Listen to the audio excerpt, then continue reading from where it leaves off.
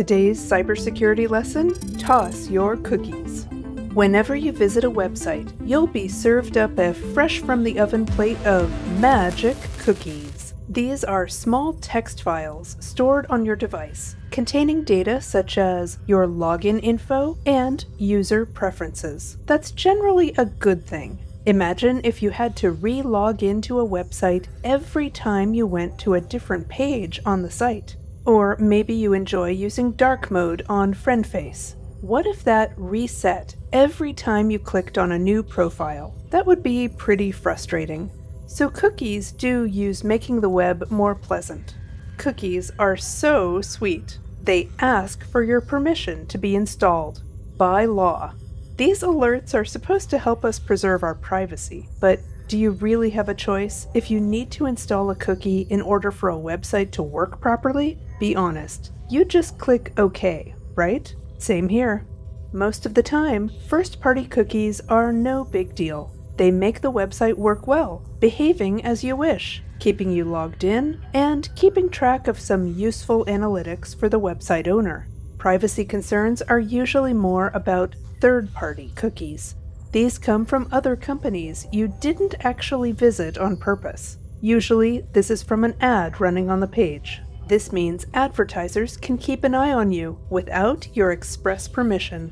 Depending on how many times your data is shared or sold, cookies can be used to build a comprehensive profile of your online activities.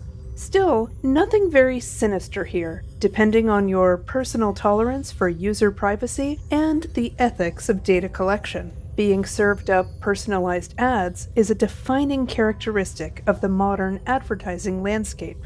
But even if we accept the tracking aspect, cookies do open the door for some more serious security breaches. These can include cookie theft.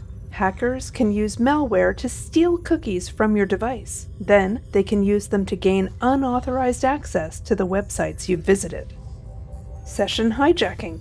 If a cookie contains authentication tokens and an attacker intercepts the cookie, they could impersonate you and, again, gain unauthorized access to your account. Cross site scripting attacks. In an XSS attack, malicious code is inserted into a vulnerable website, including its cookies. If you visit a compromised site, the malicious code could execute on your device, potentially leading to data theft or, here it comes again, unauthorized access. So, what's the solution here? You can manage your browser preferences and limit the data you share when you accept cookies. There are also browser extensions that help you block cookies. But what's the easiest thing you can do? Clear your cookies regularly. It's just that simple. For more servings of delicious cybersecurity knowledge, subscribe to Socratica.